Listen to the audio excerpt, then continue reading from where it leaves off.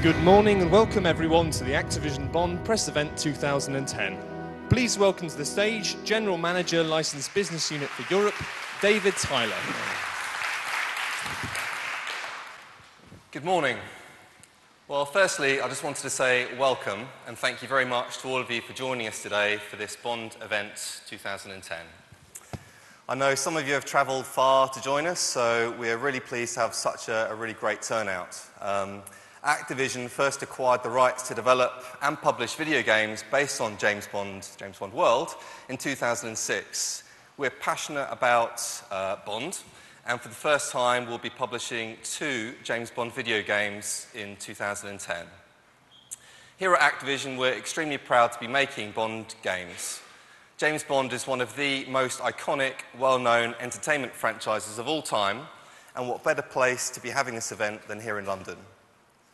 The franchise started in the 60s and has constantly adapted throughout the ages without losing its core appeal for millions of fans around the globe. So today, Activision and Eon Productions are very proud to present a reimagining of an iconic Bond film, GoldenEye, and also the worldwide reveal of the next original James Bond adventure. To elaborate on this further, I've got the great pleasure of announcing to you the producer of James Bond movies since the 1970s, Mr. Michael G. Wilson.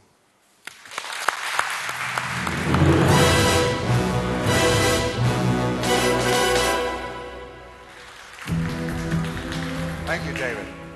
Well, it's great to be here. It's exciting. I wish we were launching a movie. anyway, I, I wanted to say good morning, everyone. It's great to be here with all of you to launch the new games. Um, Eon Productions has been delighted to work with Activision uh, as they share our vision and enthusiasm to keep the 007 legacy alive.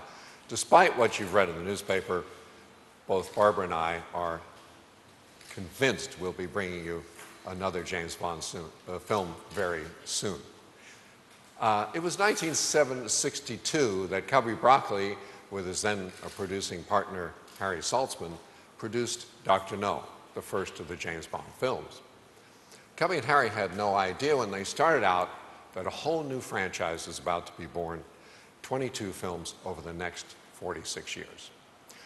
Now, Barbara and I are proud to continue with the um, producing legacy, and we, produced, uh, produced GoldenEye in 1995 and another five titles since.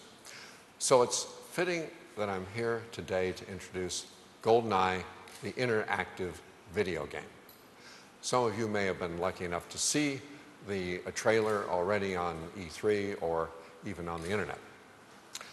Bringing this iconic film and its signature elements onto the Wii platform celebrates the nostalgia many feel towards the movie, but at the same time introduces an exhilaration of Bond to a new audience.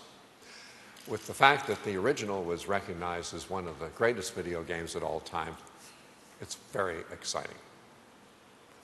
I'd like to mention that uh, many of our Bond team have been working on the games with the Activision developers.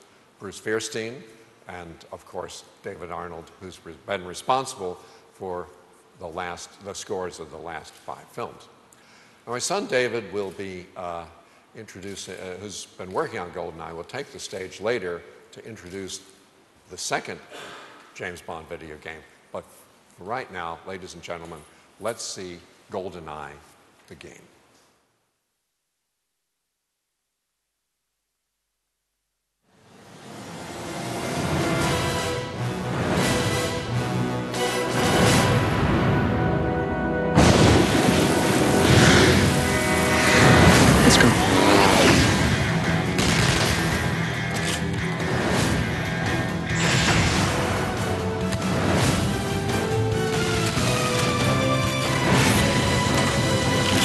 ever die being too careful. Words to live by.